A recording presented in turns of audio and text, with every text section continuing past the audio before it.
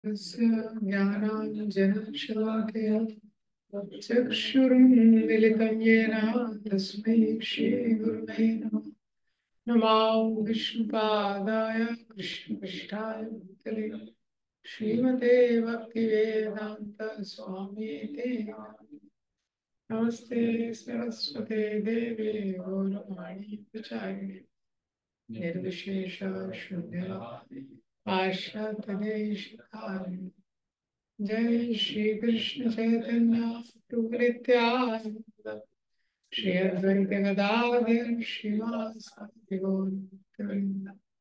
हरे कृष्णा हरे कृष्णा कृष्णा कृष्णा हरे हरे हरे राम हरे राम हरे कृष्ण देशामृत का जो तीसरा श्लोक है, उसको आज चर्चा करेंगे। पहले इसके जो श्लोक है, इसका उच्चारण करेंगे, जो आठ श्लोक है शुरू के। वाचो वेगम मनस क्रोध वेगम जीवा वेगम उदरुपस्थ वेगम एतान वेगान यमशेत धीरा, सर्वामपि माँ पृथिवीं सशिष्यात् अत्याहार प्रयास प्रजल्पो नियमाग्रह जनसंगस्य लाल्यं च षड्भिर्भक्ति विनश्यति उत्साह निश्चया तत्तत्कर्म प्रवर्तना संगत्यागासतो वृत्ति षड्भिर्भक्ति प्रसिद्ध्यति ददाति प्रतिगृणाति गुह्यम् आख्याति पृच्छति। भुङ्क्ते भोजेते चैव षड्विधा प्रीतिलक्षणम्।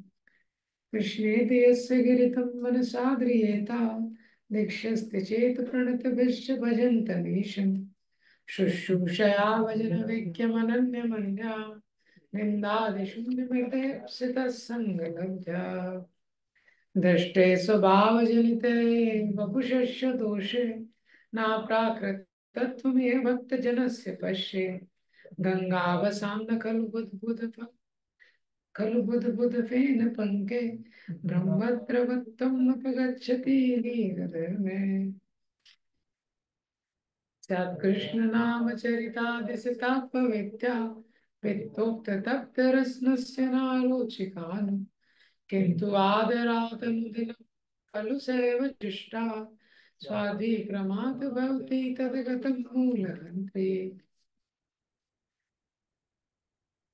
तन्नामरूपचरितादिसुकीर्तनानु स्मृत्यो क्रमेण रसना मनसि निमुच्या तिष्ठन् व्रजेत धनुरागिजनानुगामि कालं नयेद अखिलम् इति उपदेशसारम् तो इसका जो तीसरा श्लोक है उसको आज चर्चा करेंगे। उत्साह निश्चया धैर्यात तत्त कर्म प्रवर्तनात् संग त्यागात सतो वृत्ति षड्भिर्भक्ति। प्रसिद्ध थी।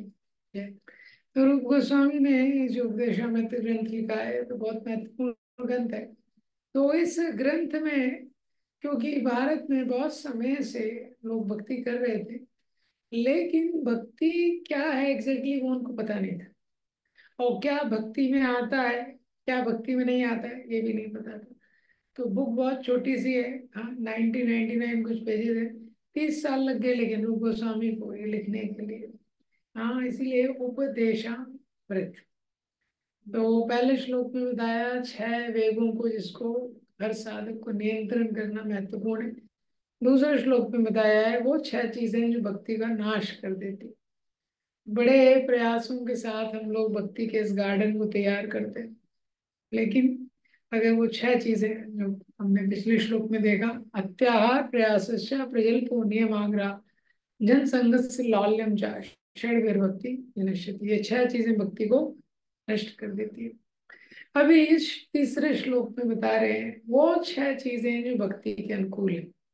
उत्साह, निश्चया धैर्य तत्त कर्म प्रवर्तन, संग त्यागा, सतो वृत्ति क्षण भक्ति प्रसिद्ध थी।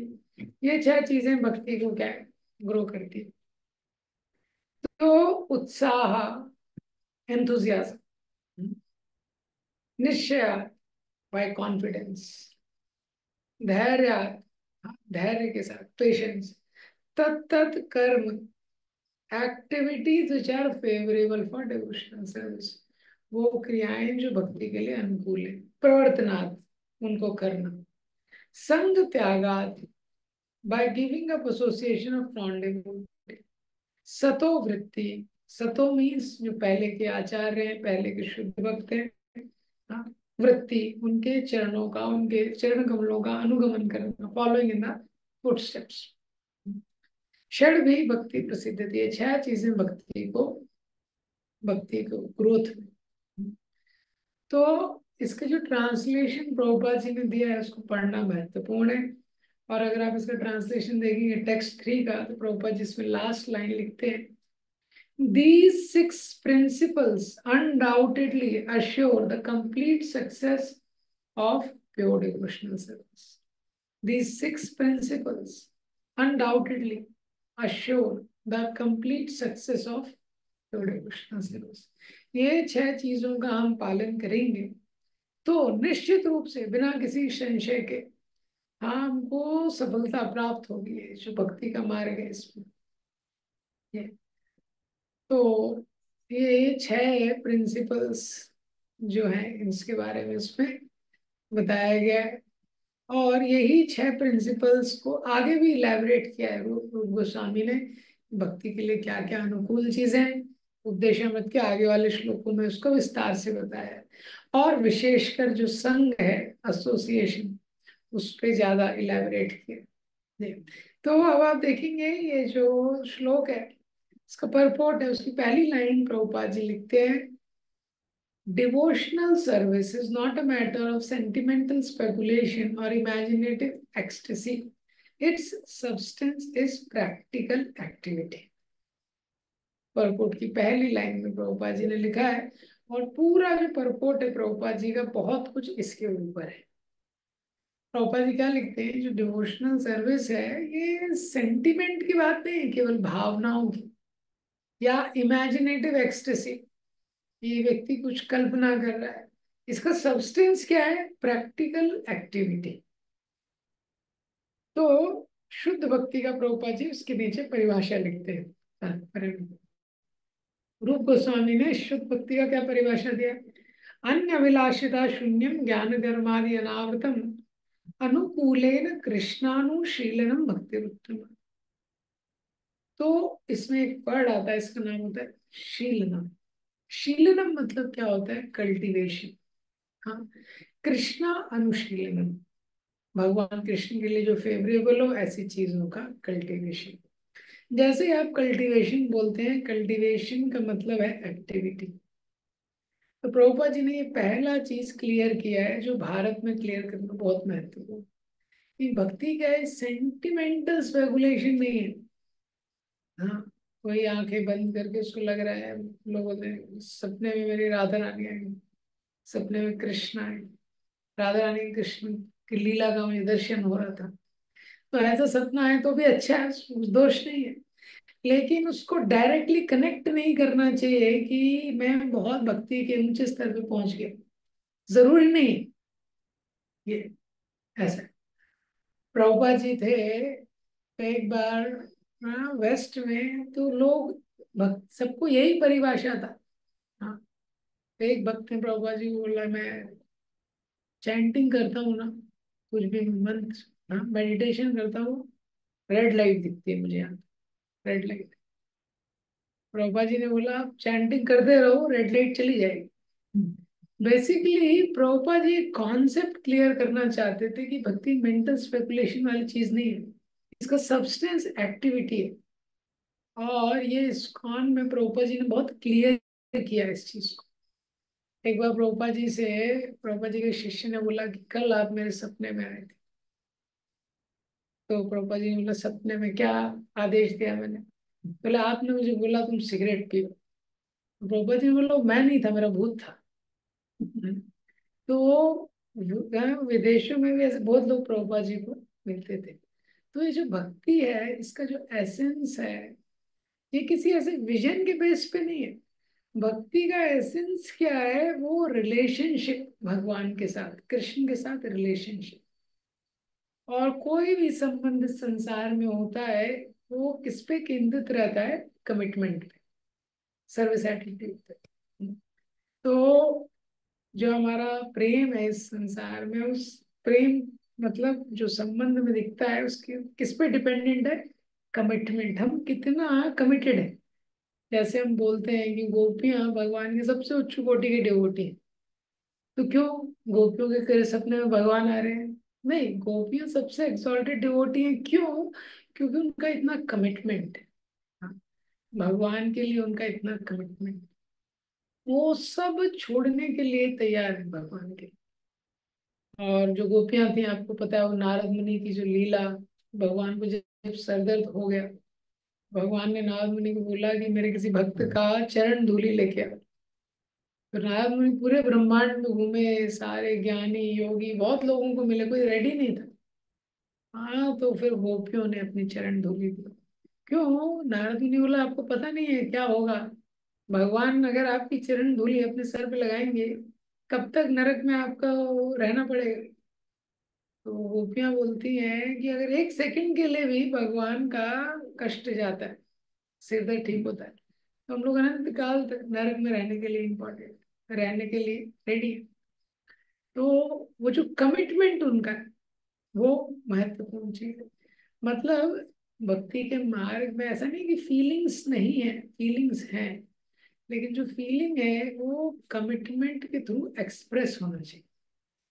तो इंडिया में फीलिंग्स के नाम पे लोग को कोई अंडरस्टैंडिंग नहीं रहता, भक्ति के प्रति कोई कमिटमेंट नहीं रहता। ये इस संसार में जो स्पिरिचुअल लव है, उसका क्लोजेस्ट सेम्बलेंस जो उसका सबसे क्लोज जो हमें संसार में देखते हैं, वो क्या है? माँ और बच्चे के बीच में जो प्रेम होता है। हाँ मदर और चिल्ड्रन के बीच में। हाँ। तो माँ और बच्चे के बीच का जो संबंध है वो सबसे क्लोज है। अब वो संबंध में क्या देखते हैं? संबंध में ऐसा नहीं है कि माँ वो बच्चा सपने में आ रहा है, केवल सपने में भी हो सकता है आ रहा लेकिन वो सेवा कर रही है, जो माँ है, उसका बड़ा कमिटमेंट है बच्चे के प्रति। ये। तो ऐसा नहीं है कि सपने में आ रहा है, रोज ही पिक्चर चल रहा है, लेकिन प्रैक्टिकली कुछ नहीं कर रही। वो रिलेशन में महत्वपूर्ण है सबसे ज़्यादा कमिटमेंट ये कमिटमेंट और सर्विस बच्चा है, रात में उठ के रोने लगता है। तुरंत माँ उठती है, उसको क्या चाहिए, उसको टेक केयर करना पड़ता है। अलार्म क्लॉक हमारे रात में बजता है, बंद कर देते हैं। बच्चा एकदम से रात में बजता है हाँ? उसको बंद कर सकती है, माँ नहीं करती। तो उसको अटेंड करती है, जो कमिटमेंट है। ये। तो ये पहला चीज़ प्रभुपा जी ने परपोर्ट भक्ति मतलब क्या है? भक्ति मतलब क्या है? कमिटमेंट ये प्रैक्टिकल एक्टिविटी है। तो प्रभुपा जी खुद अपने जीवन से इसको बताया प्रभुपा जी ने प्रभुपा जी अपने वृद्धावस्था में, वृंदावन में आए। वृंदावन में आराम से रह रहे थे और रह सकते थे। और साधारणतया वृंदावन में कोई भी पचास साठ के बाद आते तो उनको लगता है वृंदावन छोड़ के कहीं जाना ही नहीं। क्यों? बस यहीं पे प्राण त्यागना है। इस प्रकार का कई लोग संकल्प लेके आते हैं। प्रभुपाद जी वहाँ से रेगुलर जाते रहते थे, कहीं दिल्ली जा रहे हैं, कहीं जा रहे हैं। लोगों को समझ नहीं आता था। क्यों? क्योंकि प्रभुपाद जी को अपने जो गुरु का मिशन था, उसको स्प्रेड करना तो ये जो सब्सटेंस है, भक्ति का, ये प्रैक्टिकल एक्टिविटी है। ये सबसे पहले प्रभुपा जी क्लियर कर रहे प्रभुपा जी यहाँ से अमेरिका गए हिप्पीज के लिए कुक करते थे। प्रभुपा जी सन्यासी थे, भक्ति की कितनी उच्च अवस्था में थे। एक बार कुछ एक कैंप चल रहा था। मायापुर में कहीं पे। तो ये कैंप चल रहा था तो उसमें एक यूथ का डिवोटी था यंग डिवोटी था। तो गौड़िया मठ में अकोमोडेशन था गौड़िया मठ जो तो उसमें अकोमोडेशन तो वो यंग डिवोटी था, उसने देखा गौड़िया मठ के कोई सन्यासी थे तो उसको सर्व करना चाहिए, इनको कुछ सेवा करना चाहिए। तो सेवा तो उनको सर्विंग करने के लिए उठाओ। तो सर्विंग करना, करने वाला ही था गौड़िया मठ के सन्यासी ने उससे पूछा आर यू इनिशिएटेड आपका दीक्षा हो गया। उसने बोला, नहीं, दीक्षा तो नहीं हुआ। तो उन्होंने बोला यू कैनॉट सर्व सन्यासी अनलेस यू आर इनिशिएटेड आप सन्यासी नहीं सर, ये तो ये स्टैंडर्ड है। हाँ ट्रेडिशनल संप्रदाय में इतना स्टैंडर्ड है। अगर दीक्षा नहीं हुआ है तो सन्यासी को सर्व भी नहीं कर सकते। सोचिए। और प्रभुपाद जी सन्यासी थे। और पाश्चात्य देशों में इसके लिए कुकिंग कर रहे? वो इनिशिएटेड है क्या? वो डिवोटी भी नहीं है वो लोग। वो डिवोटी भी नहीं है। वो चार नियम भी पालन नहीं करते। उनके लिए प्रभुपाद जी कुकिंग करते थे, उनको सर्व करते थे। और उनको यह भी नहीं पता था कि उसका प्लेट धोना है। वो भी प्रभुपाद जी धोते थे। ये तो ये सिद्धांत प्रभुपाद जी ने बताया, भक्ति का मतलब है प्रैक्टिकल एक्टिविटी प्रैक्टिकल कमिटमेंट तो ये पहली लाइन है और इसको प्रभुपाद जी ने बहुत क्लियर किया है इस कान में। इंडिया में आप देखेंगे ये मिसकंसेप्शन के कारण ये सब तरह लोगों का इस तरह की मानसिकता, भक्ति मतलब भाव। भाव डेफिनेटली भक्ति है, लेकिन वो बहुत ऊँची स्तर है और जब भाव के स्तर पे व्यक्ति होता है तो वो ट्वेंटी फोर आवर भगवान के लिए काम करता है। लेकिन ज़्यादातर लोगों का मानसिकता कैसा रहता है कि भक्ति मतलब भाव। हाँ लेकिन पूरा कमिटमेंट है उसका अपने लिए अपने परिवार के लिए भगवान के लिए ज़ीरो कमिटमेंट है। भगवान को दो बार मिश्री लगाता है भोग में। हम्म, उसको टेंशन नहीं है भगवान को शुगर हो सकता है। उसी से उसका काम चल रहा है। देखा आपने? घर में उसके ऑल्टर के बाजू में थोड़ा सा मिश्री का डब्बा रहता है वो एक साल चलता है। हाँ, एक साल। तो प्रैक्टिकली ज़ीरो कमिटमेंट रहता है। और मंदिरों में हम देखेंगे विग्रहों की क्या स्थिति रहती है। हाँ? छह महीने उनका ड्रेस चेंज नहीं होता। क्यों हो रहा है ऐसा? क्योंकि लोगों को परिभाषा पता नहीं है जो रूप गोस्वामी ने क्लियर की हाँ? परिभाषा क्या है?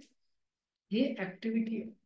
इसलिए प्रभुपा जी ने इस कॉन में जो हमको भक्ति का मार्ग दिया है बहुत क्लियर किया है प्रैक्टिकल एक्टिविटी हमको कृष्ण के लिए कुछ करना है। नहीं तो क्या होता है लोग अपने जीवन के लिए अपने लिए तो बहुत कुछ प्रैक्टिकल करते हैं भगवान के लिए कुछ प्रैक्टिकल नहीं करते। बस बोलते हैं हृदय में नाम चल रहा है। हाँ, इस प्रकार से। इसलिए प्रभुपा जी ने इस्कॉन में इवन आप देखेंगे। प्रभुपा जी के परपोर्ट देखेंगे। प्रभुपा जी बोलते हैं, मेरे परपोर्ट मेरी devotional ecstasy my purport are my devotional ecstasy लेकिन आप प्रभुपा जी के परपोर्ट देखेंगे तो उसमें ऐसा कुछ गुहे तत्व तो बहुत ज़्यादा नहीं दिया है कि राधा कृष्ण की लीला कैसे चल रही है, अष्टकाली लीला का वर्णन कैसे चल रहा है, आध्यात्मिक जगत में क्या डिटेल चल रहा है, उसमें प्रभुपा जी ज़्यादा फोकस नहीं करेगा तो कोई सोचेगा, अरे प्रभुपा जी ने लिखा है मेरे परपोर्ट में डिवोशनल एक्सटेसी इसमें एक्सटेसी तो कोई दिख ही नहीं रहा है। ये तो सब रेगुलर चीज़ रिपीट हो रही है। सिंपल कॉन्सेप्ट रिपीट हो रहे हैं। तो वो एक्सटेसी का मतलब क्या है? जो हमको एक्सटेसी थे वो एक्सटेसी नहीं एक्सटेसी हुआ है जिसमें कृष्णा को एक्सटेसी थे तो प्रभुपा जी को पता है, इतने उच्च तत्वों की बात करेंगे। लोगों को पता नहीं है, इंद्रिय तृप्ति पे नियंत्रण नहीं है, मन पे नियंत्रण नहीं है, इंद्रिय पे संयम नहीं है। वो क्या समझेंगे राधा कृष्ण की लीला? तो इसलिए प्रभुपाद जी ने प्रैक्टिकल चीज़ें दी हैं, जिससे हम लोग सबसे पहले अपने मिसकंसेप्शन हटा के भगवान की महानता को समझें और व्यवहारिक रूप से भक्ति में लगे। हाँ व्यवहारिक रूप से भक्ति में लगे। तो इसलिए चैंटिंग के लिए प्रभुपाद ने साइलेंट मेडिटेशन रिकमेंड नहीं किया। हमारी परंपरा में भी जो पहले कुछ आचार्य हुए साइलेंट मेडिटेशन भी करते थे, उस लेवल पे थे। लेकिन प्रभुपा जी ने साइलेंट मेडिटेशन नहीं रिकमेंड किया क्यों? क्योंकि कलयुग में जागते हुए भी चैंटिंग करना बहुत मुश्किल है। ये इतना आसान नहीं है। इसलिए प्रभुपा जी ने बोला we should chant the holy name clearly we should pronounce the holy name तो ये प्रभुपा जी ने अपने लाइफ से भी बहुत क्लियर किया और अपने डिसाइपल्स के माध्यम से। क्या? कि भक्ति का जो पाथ है कमिटमेंट का पाथ तो प्रभुपा जी थे और लॉस एंजल्स से वृंदावन जा रहे थे। तो लॉस एंजल्स से वृंदावन आ रहे थे। तो वृंदावन आए और वृंदावन का जो प्रोजेक्ट था उस समय गुरुदास प्रभु यमुना माता जी, यमुना माता जी गुरुदास इनके अंडर में था। तो गुरुदास प्रभु उनको रिसीव करने गए। एयरपोर्ट और गुरुदास प्रभु को लगा। प्रभुपा जी आए हैं, कुछ तो अभी नेक्टेरियन, कुछ वृंदावन आए हैं, वही प्रभुपा जी क्योंकि जब प्रभुपा जी पाश्चात्य देशों में थे, इतना वृंदावन का वर्णन करते थे। तो सब लोगों को इच्छा हो गई वृंदावन चल रहे वृंदावन चल रहे ये तो अभी गुरुदास उनका वृंदावन में सेवा था। हाँ तो उनको लगा प्रभुपा जी वृंदावन आ रहे कुछ शेयर करेंगे। प्रभुपा जी जब बैठे कार में, बहुत ग्रेव थे। कॉन्स्टेंटली चैंटिंग कर रहे थे चैंटिंग कर रहे गुरुदास भी वेट कर रहे तो कुछ तो प्रभुपाद जी बोलेंगे, कुछ तो ऑलरेडी बहुत डीप मोड में लग रहे हैं बहुत एब्जॉर्प्शन में लग रहे हैं वेट कर रहे ये प्रभुपाद जी कुछ नहीं बोले, अब धीरे धीरे लोग वृंदावन पहुँच गए। गुरुदास को वेट कर रहे कुछ शब्द प्रभुपा जी के मुँह से निकलेगा और प्रभुपाद जी वृंदावन पहुँचे कंस्ट्रक्शन चल रहा था। प्रभुपाद जी बोले सीमेंट का है। गुरुदास प्रभु वो लिखते हैं वहाँ पे कि shattered all my conceptions of what devotional service is. He shattered all my तो प्रभुपाद जी ने बोला सीमेंट कहाँ है? सीमेंट कहाँ से आएगा उस समय बड़ा चैलेंज था। प्रभुपाद जी ने पर्सनली बताया सीमेंट बैग्स को कैसे रखना है, कैसे इसको लॉक करना है, इस प्रकार से उनको। तो सिद्धांत प्रभुपाद जी क्या बताना चाहते थे?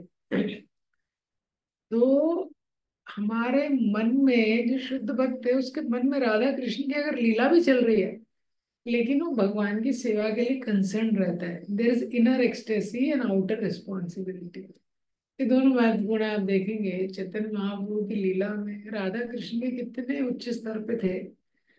वो राधा कृष्ण स्वयं थे। भगवान की लीलाओं का कैसे आस्वादन करते थे? लेकिन जब डिवोटीज आते थे तो वो कहाँ रहेंगे, कहाँ प्रसाद लेंगे? वो मैनेजमेंट कौन करता था? चैतन्य महाप्रभु करते थे। रथ यात्रा में कितनी कीर्तन पार्टी होगी? कौन कहाँ डांस करेगा? किसका क्या होगा? कौन मैनेजमेंट करता है चैतन्य महाप्रभु पर्सनल सुपरवाइज करते थे सारी, बहुत सारी चीज़ें। ये। तो क्या रूप गोस्वामी बताना चाहते हैं कि इस सर्विस का बहुत क्लोज कांटेक्ट है।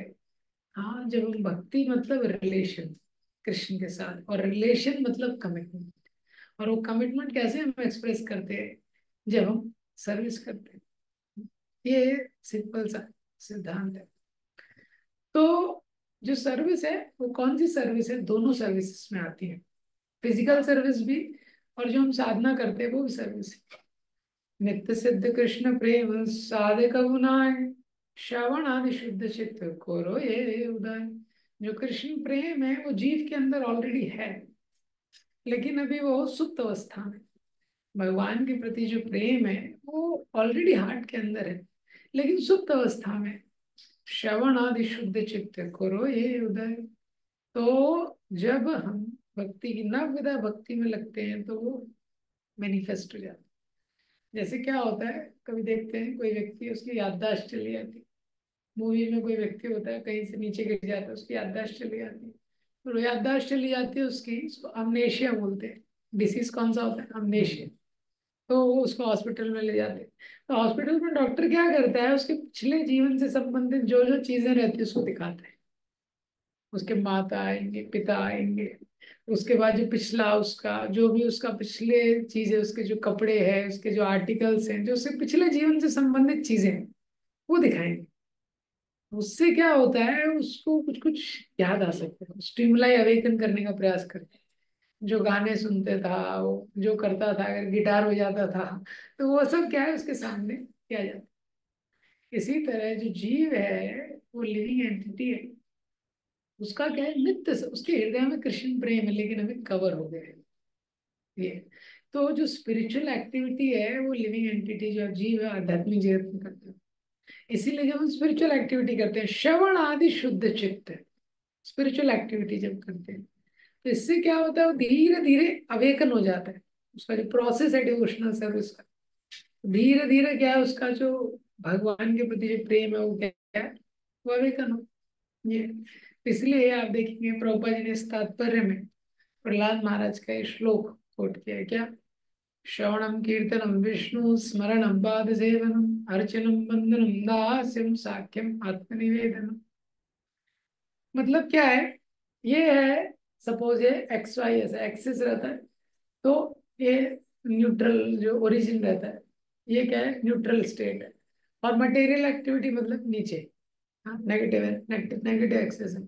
स्पिरिचुअल एक्टिविटी मतलब पॉजिटिव एक्सेस हाँ। जैसे ये एक्स वाई एक्सेस है, ये न्यूट्रल है। ये मटेरियल एक्टिविटी नेगेटिव एक्सेस ये है स्पिरिचुअल एक्टिविटी जो पॉजिटिव एक्सेस है। ये तो मटेरियल जो एक्टिविटी है, जैसे ज्ञान का प्रोसेस है, कुछ है नेति नेति का प्रोसेस जो रहता है, उसमें व्यक्ति एक्टिविटी छोड़ना चाहता है ज़ीरो ओरिजिन पे आना चाहता है। लेकिन स्पिरिचुअल एक्टिविटी क्या है पॉजिटिव एक्सेस है। तो प्रहलाद महाराज ने भी भक्ति का जब डिस्क्रिप्शन दिया तो उसमें ये नहीं बोला कि कुछ नहीं करना है। नाइन प्रोसेस दिए भक्ति का मतलब क्या है? श्रवणम, ये एक्टिविटी है। Hearing we have to hear kirtanam we have to speak हाँ?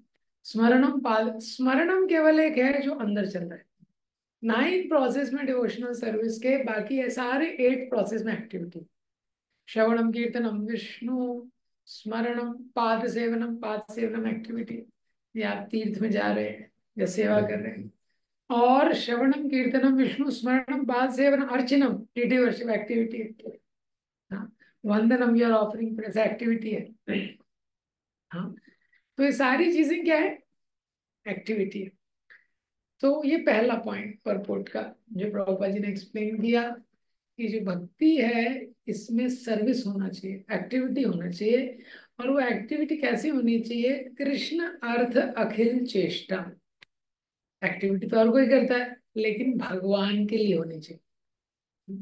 अब ये छह लिखना उत्साह, निश्चय धैर्य तत्त कर प्रवर्तन। तो सबसे पहला एलिमेंट है उत्साह। हम्म। उत्साह को प्रभुपा जी ने डिफाइन किया है endeavour with intelligence in Krishna consciousness उत्साह का मतलब क्या है? इंग्लिश में जिसको बोलते हैं enthusiasm endeavour with intelligence in Krishna consciousness ये सारे शब्द इसमें महत्वपूर्ण है। एक एक शब्द। मतलब क्या है, अगर कोई व्यक्ति एंडेवर कर रहा है, लेकिन इंटेलिजेंस के बिना कर रहा है। हम्म। जैसे कोई बहुत उत्साहित है कुकिंग करने के लिए, लेकिन उसको कुकिंग आता नहीं हाँ। बहुत उत्साहित है, वो किचन में पहुँच गया।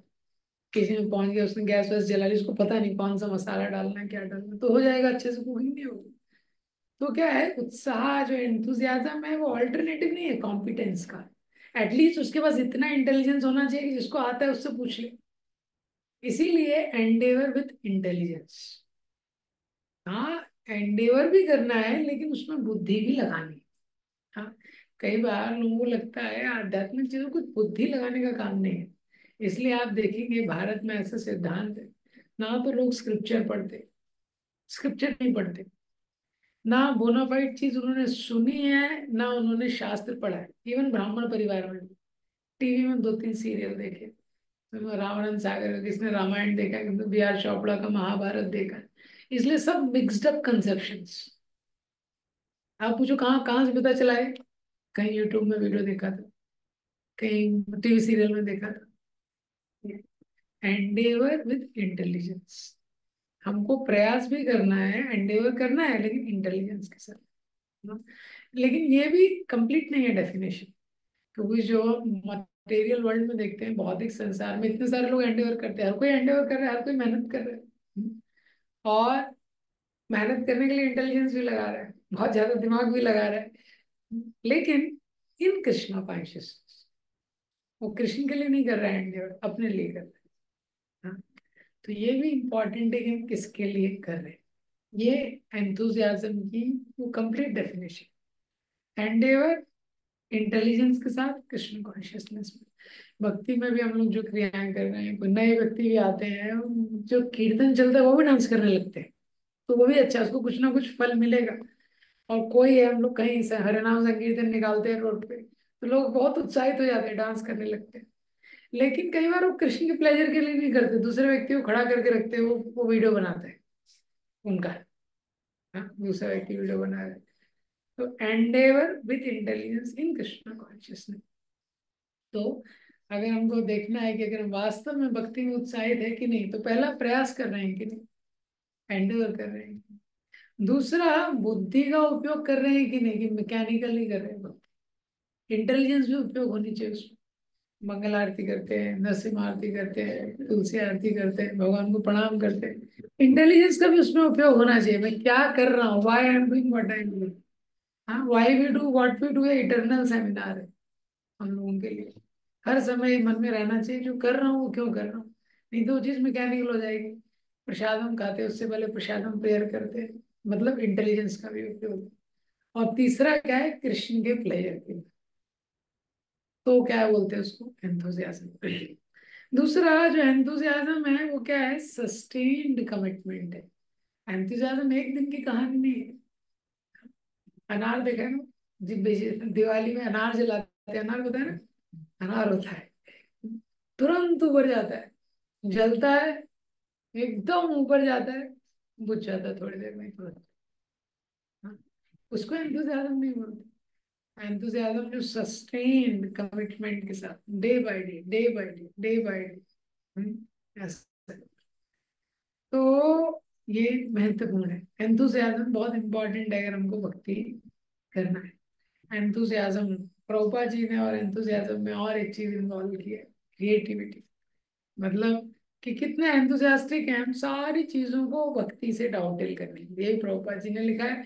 और ये भी एक इस्कॉन का बहुत इस्कॉन में आप देखेंगे कि पहले भक्ति की परिभाषा बहुत नहरो थी। बहुत नहरो परिभाषा। अगर भक्ति करना है तो बस यही है किसी को कोई व्यक्ति माला कर रहा है या पूजा बहुत कम। लेकिन आप इस्कॉन में देखेंगे कितने चीज़ों के माध्यम से भक्ति हो सकती है। आप भक्ति में ही भगवान की प्रसन्नता के लिए ड्रामा कर सकते हैं कुकिंग कर सकते हैं डेकोरेशन कर सकते हैं डांसिंग कर सकते हैं सिंगिंग कर सकते हाँ, पूरा वाइल्ड रेंज बना दिया एक्टिविटी का जो तो भक्ति में, भक्ति की क्रियाओं को करने के लिए बहुत उत्साह होना चाहिए। ये महत्व। हाँ तो उत्साह की डेफिनेशन हमने बताई और ये उत्साह होना चाहिए। क्यों? क्योंकि हमको बहुत रेयर अपॉर्चुनिटी मिला है। नरदेह आद्यम सुलभम सुदुर्लभम, प्लवम सुकल्पम गुरुकर्ण धाम कोई व्यक्ति वास्तव में हाँ अगर सपोज़ कोई प्लेन में जा रहा था, कहीं गिर गया वहाँ से, समुद्र के ऊपर, समुद्र में गिर गया एक्चुअल में अगर व्यक्ति वास्तव में समुद्र में गिर जाता हाँ कितना संघर्ष उसको होगा कितना संघर्ष होगा ये। अब तो अब उस, ऐसा जो व्यक्ति जो समुद्र में डूब रहा है, उसके पास में अगर कोई नाव आ जाए नाव। उसके पास में नाव है। और उसको कोई व्यक्ति रस्सी फेंक दे। हम्म, नाव के डायरेक्शन में जिससे वो पकड़ के आ सकता कितने उत्साह के साथ वो रस्सी पकड़ेगा। इसी तरह बताया गया है कि जो मनुष्य जन्म है ये क्या है? व्यक्ति इतने समय से चौरासी लाख योनियों में घूम रहा है। ये भव सागर में गोते लगा रहा है। लेकिन मनुष्य जन्म में बोट की तरह। प्लवम सुकल्पम नरदे आद्यम। एक ऐसी नाव है कि व्यक्ति भव सागर को पार कर सकता है। गुरु कर्ण धारम और उसमें जब उनको गुरु का आश्रय मिल जाता है प्रभुपा जी जैसे आचार्य वो उनको डायरेक्शन देते हैं, कैसे भक्ति करती तो कितना व्यक्ति को एक्साइटमेंट होना चाहिए एंथुजियाज्म होना चाहिए, वो भक्ति को स्वीकार करने के लिए। उत्साह, निश्चय। निश्चय का मतलब क्या है? कॉन्फिडेंस प्रभुपा जी ने प्रभुपा जी ने इसको ट्रांसलेट किया है। डिटर्मिनेशन है प्रभुपा जी ने ट्रांसलेट किया है कॉन्फिडेंस हाँ। कॉन्फिडेंस मतलब भक्ति के मार्ग में उसको कॉन्फिडेंस होना ज़रूरी है। जैसे कोई भी व्यक्ति कहीं जाना चाहता है, या कहीं से भी आप कहीं जाना चाहते हैं, पुणे से मुंबई जाना चाहते हैं, कानपुर से दिल्ली जाना चाहते हैं तो पहले तो उत्साह होना चाहिए कि हाँ इतनी लंबी ड्राइव करनी। उसके बाद कॉन्फिडेंस होना चाहिए कि सही रास्ता है। अगर आपको रास्ते पे कॉन्फिडेंस नहीं है तो क्या होगा? मुश्किल हो जाएगा। ये। तो भक्ति के मार्ग में कॉन्फिडेंस यहाँ पे कॉन्फिडेंस का मतलब क्या है? कि ये कॉन्फिडेंस की अवश्य रक्षी हुए Krishna. Krishna will always protect me भगवान हमेशा रक्षा करेंगे। दूसरा, ये जो भक्ति का मार्ग है, इस पे कॉन्फिडेंस भक्ति का जो मार्ग है कर्मी, ज्ञानी, योगी, ये जो तीनों मार्ग हैं, इन लोगों के उद्देश्य अलग अलग रहते हैं। कुछ कर्मी है, कुछ फल प्राप्त करना चाहता है, वो ज्ञानी है, कष्टों से मुक्त होना चाहता है, योगी है, वो परफेक्शन चाहता है। लेकिन जो डिवोटी है, इसलिए लोग हमेशा रेस्टलेस रहते हैं, जो, लेकिन जो डिवोटी है, जो भक्ति के मार्ग में वो भगवान को प्रसन्न करना चाहते हैं। तो ये उसको कॉन्फिडेंस रहता है कि यही जो मेरा मार्ग है ये सही मार्ग है। तो जब कॉन्फिडेंस रहता है तब हम मार्ग में आगे चल सकते हैं। सो so, भक्ति के मार्ग में भी जैसे मैंने उदाहरण दिया वो कानपुर से दिल्ली जाना है तो पहले उत्साह चाहिए। उठेंगे गाड़ी में पेट्रोल वेट्रोल डालेंगे निकलने इतना लंबा यात्रा। उत्साह के बाद कॉन्फिडेंस निश्चय। ये कॉन्फिडेंस चाहिए कि जिस मार्ग में मैं हूँ, ये सही मार्ग है। तो अगर कॉन्फिडेंस नहीं रहेगा कि भक्ति का मार्ग सही मार्ग है, भक्ति के मार्ग प्रभुपा जी ने जो सिद्धांत दिए, वो सही सिद्धांत है। शास्त्रों में जो चीज़ लिखी है, वो सही चीज़ है। जो डिवोटी है, ये मेरे वेल विशर है। तो क्या होगा, जैसे आप कहीं जाते हैं और अगर आपको रास्ता क्लियर नहीं है, तेज चल सकते हैं? तेज नहीं चल सकते करेक्ट जब तक ये कॉन्फिडेंस नहीं आएगा कि ये सही रास्ता है। वो फ़र्स्ट गियर सेकंड गियर पे गाड़ी चलानी पड़ेगी। तो इसी तरह भक्ति में भी जब कॉन्फिडेंस आ जाता है कि हम एक वैष्णव संप्रदाय से जुड़े हैं भक्तों के आश्रय में तो जो गाड़ी का स्पीड है उसके हम्म, तो उसके गाड़ी का स्पीड बढ़ जाता है बहुत तेज जाता है उसके गाड़ी का स्पीड तो एक दूसरा चीज़ उसको कॉन्फिडेंस चाहिए। तो भक्ति का प्रोसेस है ये कल्टीवेशन का प्रोसेस है। हाँ कल्टीवेशन तो जैसे कोई व्यक्ति जो पौधा लगाता है तो पौधा लगाता है तो उसमें पानी डालता है तो एंथुजियाजम चाहिए उत्साह चाहिए किसके लिए श्रवणम कीर्तनम करना है उसके लिए एक्टिविटी दूसरा ये कॉन्फिडेंस चाहिए कि यही सही प्रोसेस है। और तीसरा धैर्य। धैर्य मतलब धैर्य चाहिए क्योंकि आप कानपुर से दिल्ली के लिए निकले उत्साह के साथ। आपको रास्ता भी पता है कि यही रास्ता है। इसका मतलब ये नहीं कि पाँच मिनट में पहुँच जाएँगे। फिर भी थोड़ा टाइम लगेगा। थोड़ा टाइम लगेगा। प्रोपा जी ने इसमें उदाहरण दिया है। ये तो एक उदाहरण तो क्या है कि जैसे कोई किसान होता है हाँ उत्साह के साथ वो स्टार्ट करता है, ज़मीन तैयार करता है, उसमें पानी डालता है। और फिर उसके बाद उसमें बीज डालता है। कॉन्फिडेंस के। अब उसको विश्वास है कि ये बीज है, एक समय बाद ये क्या इससे फ़सल उगेगी। लेकिन उत्साह भी है, विश्वास भी है, तभी भी नेचर अपना टाइम लेता है, तब तक उसको धैर्य रहना पड़ेगा तो भक्ति में भी ये तीन फैक्टर्स का कॉम्बिनेशन होता है। क्या? एंथुजियाज्म डिटर्मिनेशन पेशेंस ये तीनों का क्या है? कॉम्बिनेशन लगता है। ये तीनों का कॉम्बिनेशन होता है। ये जैसे कोई व्यक्ति है, वो डॉक्टर के पास जाता है। हाँ तो डॉक्टर के पास जाता है डॉक्टर उसका डिसीज डायग्नोस करता है। उसके बाद मेडिसिन लेता है। उसके बाद एक समय के बाद डिसीज जाता है। इस संसार में डिसीज क्या है? Material existence material existence disease है। तो भक्ति की लाइफ में कैसा होता है कि ये सिद्धांत है। जैसे ये तीन उंगलियाँ हैं।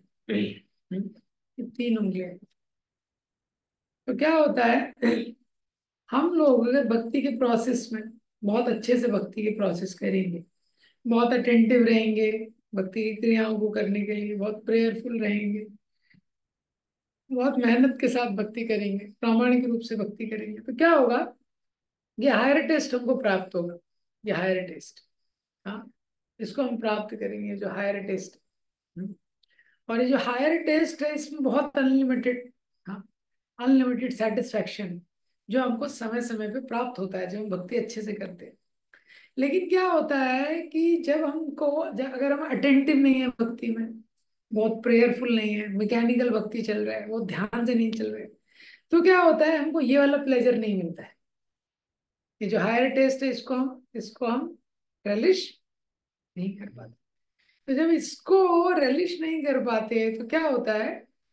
हम लोग नीचे आ जाते हैं। ये नीचे कौन सा बीच वाला है मटेरियल प्लेजर अभी मटेरियल प्लेजर इसके कंपैरिजन में कुछ भी नहीं है। मटेरियल ये क्या है? जैसे सूखा रोटी है। और ये एकदम शुद्ध घी हाँ। डेढ़ हज़ार रुपए किलो वाले घी में बना हुआ तला हुआ पूड़ी है। कोई भी कंपैरिजन नहीं है। मटेरियल प्लेजर है पेल स्टेल कोई कंपैरिजन नहीं है। लेकिन क्या है, जब हमको ये नहीं मिलता है, क्यों नहीं मिलता है? क्योंकि भक्ति का जो प्राइस है, वो हम लोग देने के लिए रेडी नहीं। पूरा एनर्जी डालने के लिए अटेंशन से चैंटिंग करने के लिए प्रेयरफुल रहने के लिए कॉन्शियस रहने के लिए लोग रेडी नहीं। तो ये प्राइस नहीं पड़ते हैं तो मटेरियल प्लेजर मटेरियल प्लेजर क्या है? हमको संतुष्ट नहीं करते हैं। तो जब हमको संतुष्ट नहीं करता है तो हम क्या करते हैं?